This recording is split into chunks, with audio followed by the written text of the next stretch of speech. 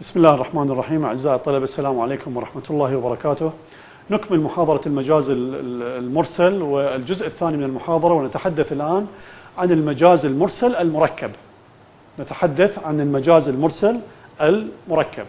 في البدء يجب أن تفهم عزيزي الطالب ما الفرق بين المفرد والمركب؟ المفرد هو الكلمة المفردة. الكلمة المفردة كل كلمة مفردة نطلق عليها في العربي اسم المفرد.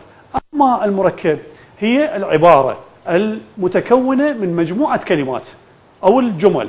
نطلق عليها المركب. الآن هذه المحاضرة سوف نتناول المجاز المرسل المركب.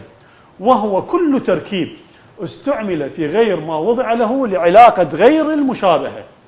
ومنه الجمل الخبرية المستعملة في الإنشاء الجمل الخبرية المستعملة في الإنشاء للتحسر وإظهار وإظهار الحزن ومثال ذلك. ناخذ قول الشاعر المتنبي بان الشباب فعز مطلبه وانبت بيني وبينه نسبه.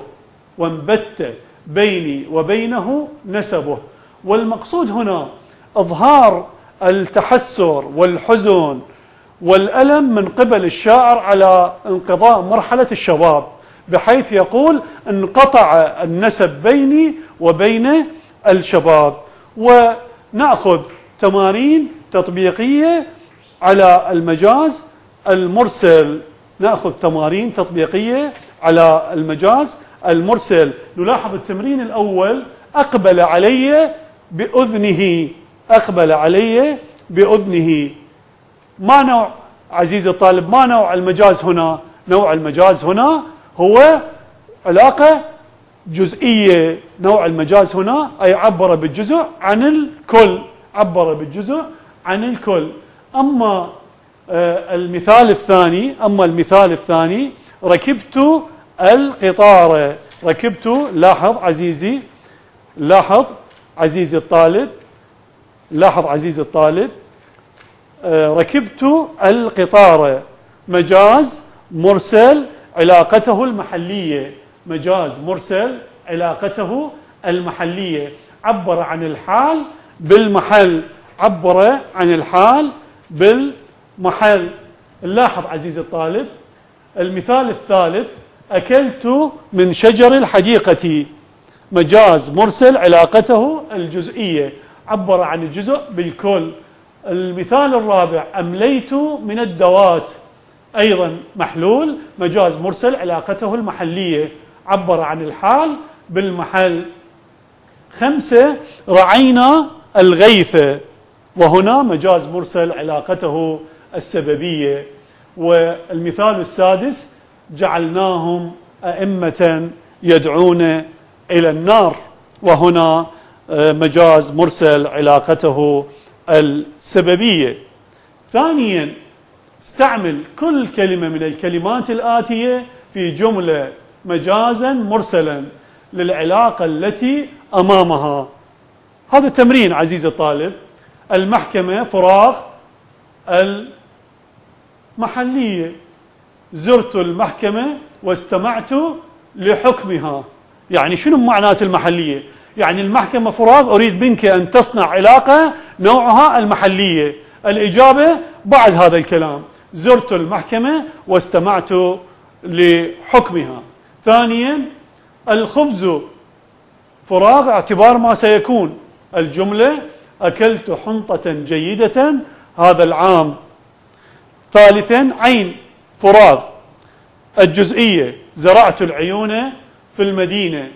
أربعة النعيم. حالية المؤمنون في الجنة خالدون. المؤمنون في الجنة خالدون. الآن نذهب عزيزي الطالب إلى نذهب إلى تمارين الفصل تمارين الفصل. نأتي إلى التمرين الأول. اذكر علاقتين متقابلتين من علاقات المجاز ثم مثل لكل واحدة بمثالين على الأقل. أذكركم سببية مسببية هاي علاقتين. جزئية كلية. حالية محلية. اعتبار ما كان واعتبار ما يكون. والآلية.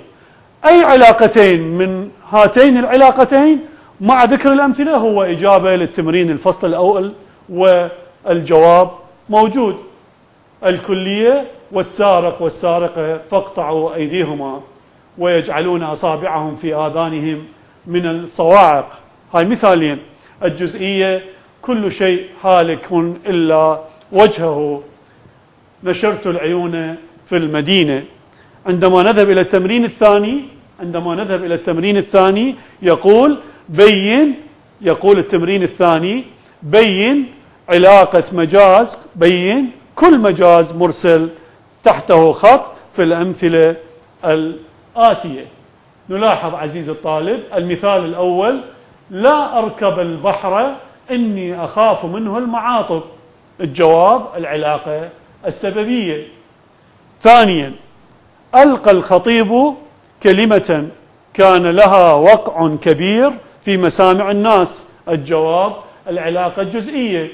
ثالثا قال تعالى فبشرناه بغلام حليم. الجواب العلاقة اعتبار ما سيكون. رابعا سقت الدلو الأرض. العلاقة محلية. خامسا أذل الله ناصية المعتدين. العلاقة كلية. سادسا سال الوادي.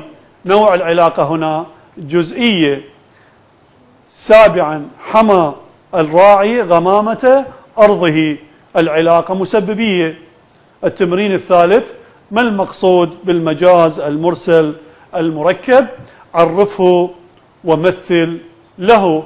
والواقع أن الجواب موجود هو كل مركب استعمل في غير ما وضع له. هو كل مركب عزيزي الطالب لاحظ التمرين الثالث ما المقصود؟ ما المقصود بالمجاز المرسل المركب؟ عرفه ومثل له. الجواب كل مركب استعمل في غير ما وضع له لعلاقة غير مشابهة ومثال ذلك ذكرنا بان الشباب فعز مطلبه وانبت بيني وبينه نسبه. شكرا لكم أعزائي الطلبة في نهاية هذه المحاضرة. متمنيا لكم الخير والتوفيق. والسلام عليكم ورحمة الله وبركاته.